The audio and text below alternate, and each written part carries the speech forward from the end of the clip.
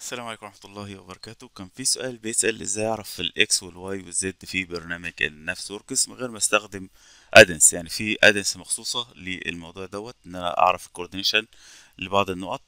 إنما لو أنا عايز وأنا شغال في نقطة مثلا عايز أعرف هل هي دي zero zero أو أتأكد من حاجة خالص فأنا بروح لل review اللي أنا هراجع منها وهاجي على measure وأقول له عايز أدخل هنا؟ فبيجيب لي أدوات القياس. طيب أنا هعمل كأن أنا عايز مثلا أعرف المسافة من نقطة لنقطة.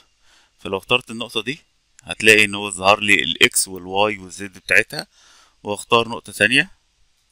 هيبدأ يجيب لي برضو الاكس والواي والزد بتاعتها وفي نفس الوقت هيجيب لي ال ال الاختلاف اللي بينهم في الاكس وفي الواي وفي الزد تمام؟ يعني ممكن يكون في اختلاف بين ال Z هنا وال Z هنا لأن أنت اخترت بطن البلاطة أو اسفل البلاطة وبعد كده دي المسافة الرئيسية من النقطة دي للنقطة دي.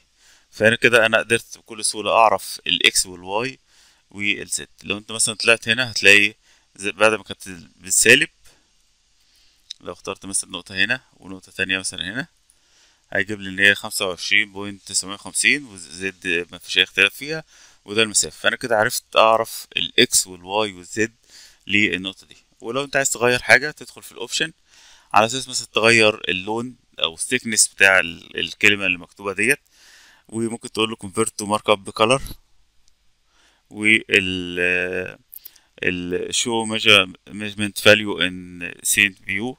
تبدأ تختار الاختيارات اللي أنت عايزها هل أنت عايز ال line يظهر أو ما يظهرش أو تختار الديفولت